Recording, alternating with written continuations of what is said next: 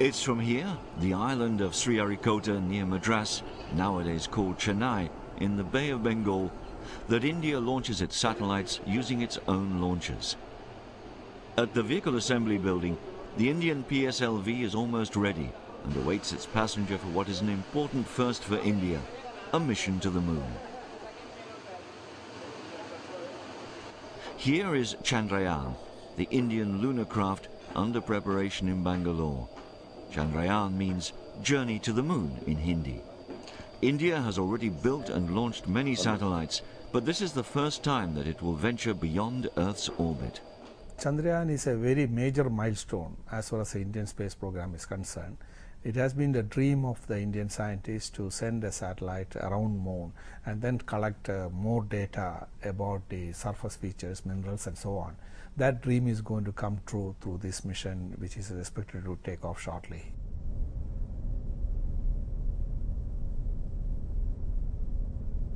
To ensure a successful lunar mission, India has had to show expertise in various fields. Indian engineers have put in place everything needed to send a spacecraft around the moon and develop the technology to study the Earth's natural satellite. For India, Chandrayaan represents a scientific and technological challenge. The challenge is uh, basically we are sending the satellite from here to 400,000 kilometer away. So it's quite far off. So we have to make sure our trajectory is correct and the angle or the orientation is correct and the timing is correct. When we reach the moon, moon must be at the exact place as we design. So we make sure our guidance and control, the propulsion system, the communication system, everything is in place perfectly.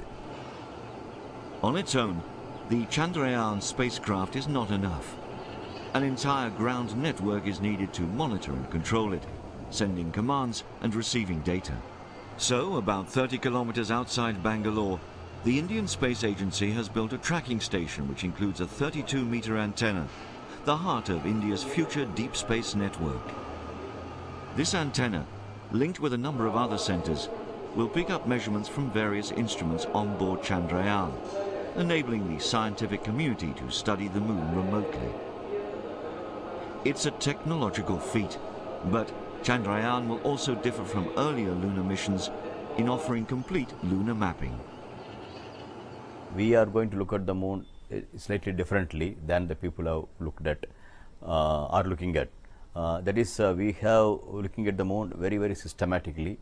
Take the whole moon systematically. Take the whole moon's uh, uh, pictures, both for the mapping, chemical mapping, mineral mapping, is concerned, we want to make a repository of the whole moon, what moon contains.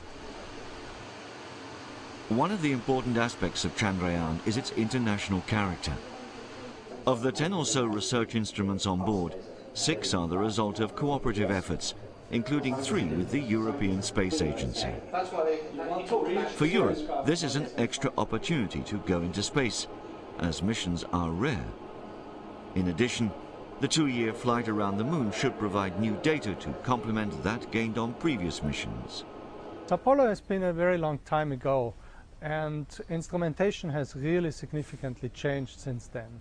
Another important feature of the Chandrayaan mission is that it goes very close to the moon. It goes uh, to a circular orbit of 100 kilometers which allows imaging of very detailed uh, nature. The Apollo missions, yes, they went down to the surface, but only in a limited number of spots, whereas Chandrayaan tries to do detailed imaging of the entire sphere of the moon. For the European Space Agency, Chandrayaan also represents an opportunity to reuse improved versions of the instruments that studied the moon on its Smart 1 mission. It's also a chance to send new instruments that will be used in upcoming ESA missions, such as the Bepi Colombo mission to Mercury. With this lunar mission, India is sending out a clear message about its independence and its ambitions. The Indian Space Agency has already announced further missions to the moon and beyond.